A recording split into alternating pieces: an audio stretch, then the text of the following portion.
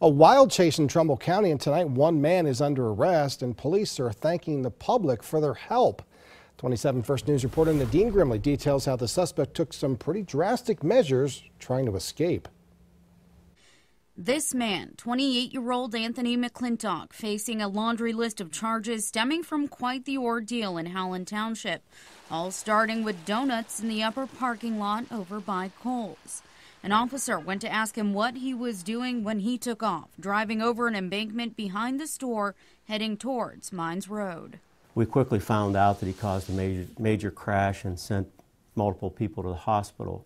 That's when police say he took off, running through the parking lot of Best Buy, and he kept going from there. He ran with me in tow through one door of uh, Wendy's restaurant and right out the other. Uh, ran straight in the front doors of Red Lobster, and when he got into the middle of the restaurant, he decided he was going to launch himself through the glass windows. Monroe tackled McClintock and then he was taken to jail, initially booked as John Doe because he provided officers with a fake name. Now police say the car he was driving was stolen from a home in Warren and he was also wanted for felony possession of heroin. And Howland Nadine Grimley, WKBN 27 First News.